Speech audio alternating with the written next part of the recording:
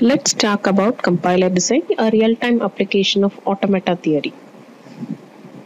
I speak English. How do I greet you in the morning? Yes, it's good morning, right? Somebody is from France. How do they greet you? Bonjour. It's nevertheless a problem if I and that lady is able to understand each other's language. If I could understand the meaning of bonjour, if she could understand the meaning of good morning, no problem at all, it will go perfect. But what if both of us are not able to understand each other? I don't know French and she don't know English. What to do? Yes, you are right. We need to have a translator in between. What would be the characteristic of the translator? They should be proficient in both the languages, both English as well as French. Anything which I talk needs to be converted into French and it has to be delivered to that lady. Then anything, whatever she talks, has to be translated by this third party and it has to be given to me. That translate operation can be done both by a human being or by a software, whichever is preferable. Apply the same concept in a machine environment. All human beings needs to be in relation to a machine in some way or other.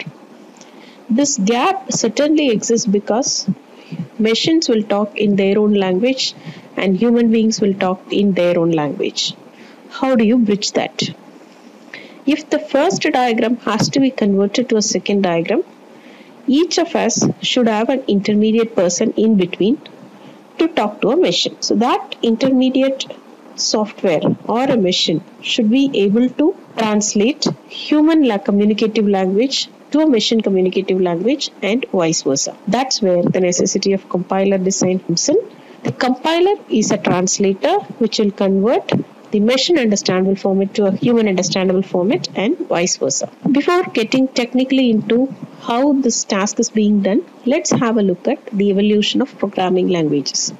To start with, whenever the computers are being introduced, that is the human beings and the computers were talking to each other by means of low level language.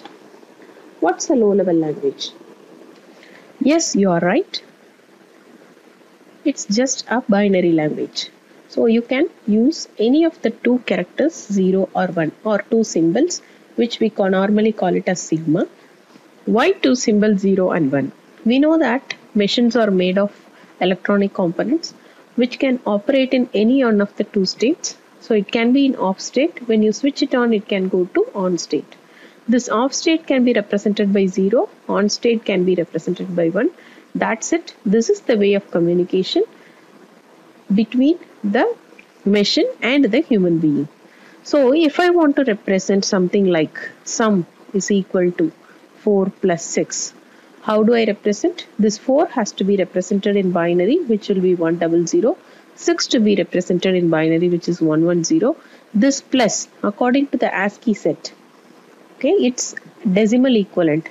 For example, if you assume it to be 40, the equivalent of 40 binary equivalent has to be written here for example it is uh, 32 and 8 yeah this is the binary equivalent. So this will represent 4 this will represent plus and this will represent 6 what you think of if you are given a task of writing a program like this?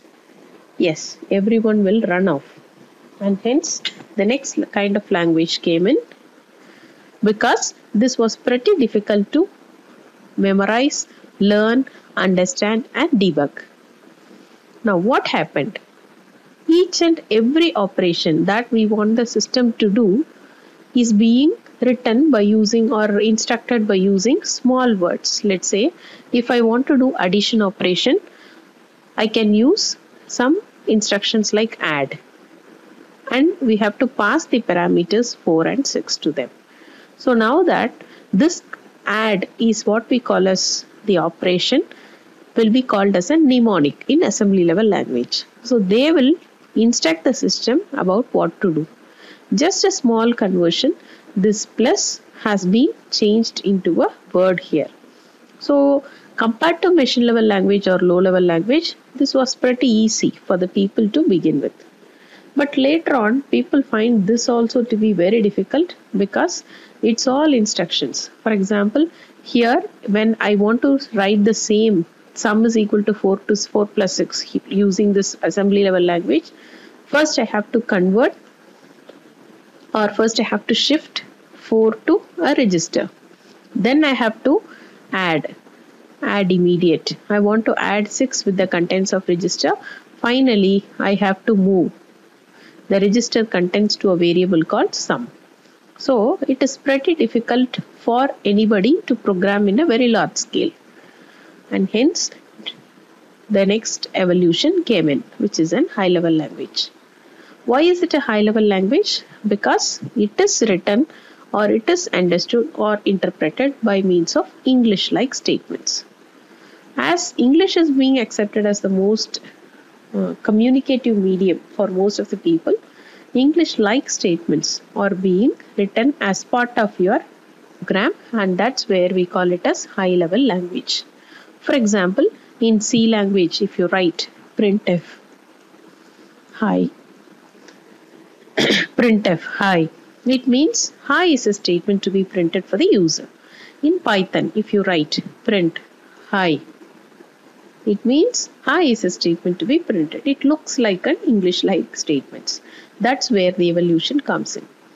But whatever be the evolution came, only this machine level language, which is otherwise the low level language, can be understood using your computers.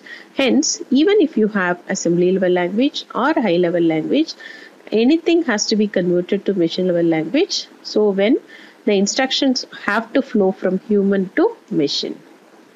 On other words, the machine compute, complete its computation and it has to give back the result back to human. So what happens? The translation on the other side will happen. So the output from machine level language to be converted to either assembly level language or high level language according to the preference. So now, yeah, in short, programs in high level language needs to get translated to machine level language. So how do we translate? What are the different translators available? In the next session or the video, we'll be talking in details about different types of translators available but here I'm going to give you the glimpse of only the high level language to machine level language translators which is nothing but the compiler and interpreter. So either of the one or both the things will convert the program in high level language to the program in machine level language. Coming to the difference between compiler and interpreter, this compiler will take the source program. C is a compiled language if I have written a program in A.C, it goes to the C compiler and it will give you an output in the form of a OBJ file. Even if you have deleted the source file, this OBJ will still exist. If you execute this, it will take the input from you and it will give you the output. When do we need to change this a.obj? when there exists a change in a.c. If you are adding anything to a.c, then again you have to recompile because every time only this a.obj is what gets executed rather than a.c. So this will create another update a.obj to which if you give input it will give you output. So this C compiler, C is a compiled language which is working on this principle. In contrast to that, you would have studied Python. A.py is name is the source file that you can create. So this interpreter, it will just take line by line and it will give you the output directly. It won't create any intermediate file. Rather it takes one line each and then it executes and then gives you the output which is beneficial and where to use it okay so both compilers and interpreters are beneficial in the place of its exact usage. Where to use what? That's more important. Let's say a particular X version of a program is there which is being used at the client space all the time and it is understood that the updates can be there once in a week. So every time instead of taking the source file executing it line by line you can just create an OBJ which is in the form of a machine level language and gives you the output. So when the updates are going to happen in a regular time period or in some interval of time which is acceptable, go for a compiled language. In other words, you take websites, that too grocery websites. Let's take every second the values are being changed and the products are being refreshed. And in which case, if you want to have a complete dynamism in any of the program that you are writing, you cannot go for compiler rather an interpreted version is easier. Hope you have a better clarity on what compiler and interpreter is and where to use what.